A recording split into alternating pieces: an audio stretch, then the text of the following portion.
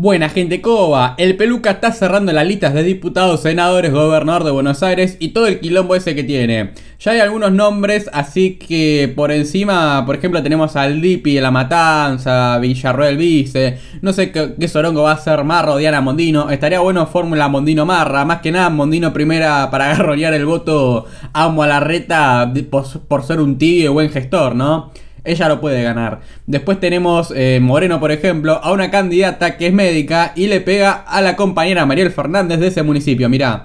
A diferencia de Mariel Fernández, hoy la actual intendente de Moreno, la que yo podría llamar la peor intendente de Moreno, ella cuando asumió vivía en Cuartel Quinto, como yo, pero se fue a vivir a un country, alejada totalmente de los vecinos. O sea, la intendente de Moreno vive en un country, perdón, perdón, perdón porque se Bien, la chica tiene 28 años y supuestamente ya tiene todos los fiscales de mesa de sobra para cuidar los votos del león ahí. Son como 1300, por ahí tiene como 1500 fiscales más o menos y puede conseguir más. Bueno, está bien. Que dicho sea de paso, este es mi municipio, ¿eh? Pero bueno, aparentemente cuando tenía 18 era peronista esta mujer, pero despertó hace unos cuantos años como la mayoría del pueblo argentino por mi ley, más o menos. Pero bueno, ese es otro tema. Ahora quiero hablar del caso Marcela Pagano, que en estos últimos días sonaba para liderar las listas de diputado por la provincia de Buenos Aires. No sé si para ser diputada nacional o diputada provincial, por ejemplo, como es Ramiro Marra, o Nahuel Sotelo, que tiene mi ley, para que tengan una idea. No lo sé, supuestamente desde el entorno de la mujer se han comunicado desde el partido del Peluca. Vamos a ver lo que dicen las notas que tenemos hasta ahora. Por ejemplo, acá tenemos un tuit de Luis Gasulla. Los fanáticos siempre matan al mensajero. Milay le ofreció una candidatura a Marcela Pagano, quien confirma que eso sucedió. Ahora el candidato lo niega.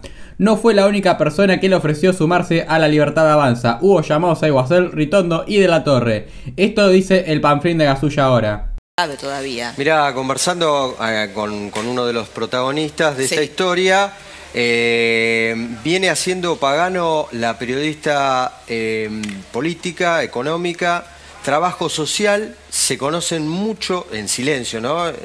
Trabajo solidario, se conocen desde hace mucho tiempo con Javier Milei.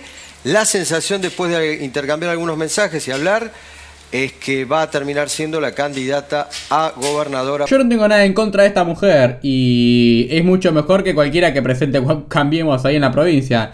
Pero yo había leído que era para diputada y al parecer no es para nada porque Javier Milei dio un retweet a un consultor político llamado Fernando Cerimedo en el cual creo que trabaja con Milei y dijo lo siguiente a lo que mencionó Gasulla.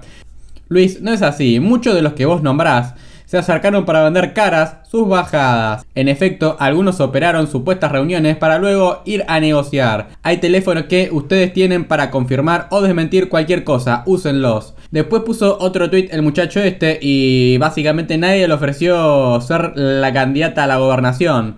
No dice nada de diputados, esa podría ser. Y como pueden ver, Milei le dio un retweet, así que confirmado que es mentira. Eh, todo medio raro por estas filas. Eso de la bajada que nombró Cerimedo, que fueron ofrecidas a Milei, eh, por alguno de Bullrich significa yo armo las listas y vos decís que vas conmigo. Eso, eso es básicamente. Terceriza las elecciones en Buenos Aires y después esa gente hace lo que quiere, no es de mi ley. Es un tema aceptar eso. Pero ¿saben qué es lo más gracioso de todo? Es que estaban empezando a operar a Marcela Pagano con estas cosas, mirá. Había una mujer, creo, en, en TN, que decía, pues el dólar, el dólar a 42, a 42. Ahora, con el dólar a 4.20, 4.30 o lo que sea, se le secaron las lágrimas. No dicen nada. El día de ayer, cuando se dio a conocer esta información de esta noticia de Pagano, este medio macrista indignado, que siempre es viral, lo agarran los periodistas amarillos y toda la joda, lo la empezaron a pegar a la mina. Este es el video que a Marcela Pagano y le sale espuma por la boca cada vez que lo ve. Así que les pido por favor que no le den un retweet, ni lo roben, ni pongas me gusta, ni comentes, nada de nada. Hagan de cuenta que no lo vieron, por favor les pido. No sé si estaba bien escrito ahí al principio, qué sé yo, medio raro todo, ¿eh? Esto lo dice el medio ensobrado, perdón, perdón, indignado quise decir. Estaría bueno que se indignen eh, con lo de Carolina Lozada, ¿no? Ya que en 2019 por ahí puso 1.500 dólares en el telar de la abundancia y no los recuperó nunca más. Ella es candidata a gobernadora de Buenos Aires, nadie le pide nada, ¿no? Con esa gente no se indignan. ¿Qué le habrá pasado ahí? No lo sé.